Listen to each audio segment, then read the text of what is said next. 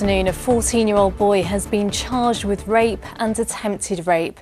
The alleged assault took place on a 10 year old girl in Shrewsbury on disused land off St Michael Street last Friday afternoon. The boy, who cannot be named for legal reasons, is due to appear at Telford Magistrates Court tomorrow.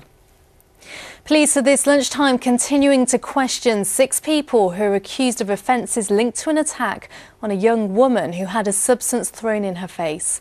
The 19 year old, who's been named locally as Vicky Horseman, suffered serious burns from what's believed to be a high strength cleaning fluid. It happened on Tuesday afternoon in Tividale.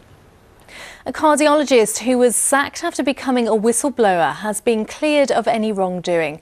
Dr Raj Mattu spoke out about two patients dying in overcrowded bays at Walsgrave Hospital in Coventry in 2001. The University Hospital of Coventry and Warwickshire NHS Trust says it was disappointed by the tribunal's ruling and is considering an appeal. As thousands of drivers take to the roads for the Easter getaway, motorists are being urged to plan their journey to avoid delays. Today is likely to be one of the busiest days on the roads. The majority of roadworks are being cleared to help ease congestion.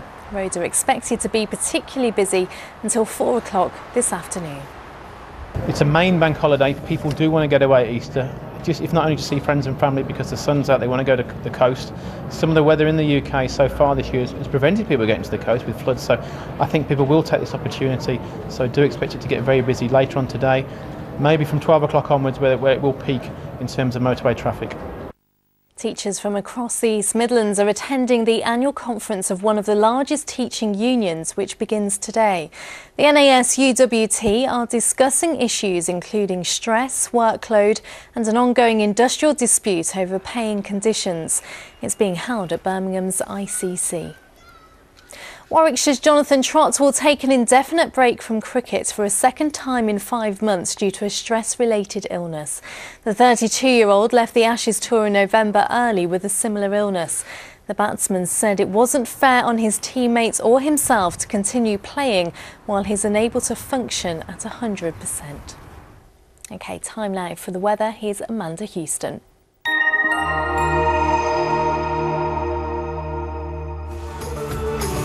A short break, whatever the weather. ITV Local Weather, sponsored by Center Parcs. Hello and a very good afternoon to you. So the weather is going downhill throughout the bank holiday weekend, but for today, it's looking lovely, beautiful sunshine across the region with light winds. Not feeling too bad. We're looking at a high today of around 14 degrees. Now tonight it stays quiet, it's dry, we've got clear skies, and that's going to allow temperatures to fall close to freezing. So there will be a widespread grass frost and some air frost too, taking us into a very chilly start to the day tomorrow. But yet again, a lovely start for many of us. Bright or sunny spells, perhaps a bit of cloud for the afternoon but it should stay dry and that's of a top temperature this time of 14 degrees. Have a lovely day. Bye bye for now. ITV Local Weather, sponsored by Center Parcs.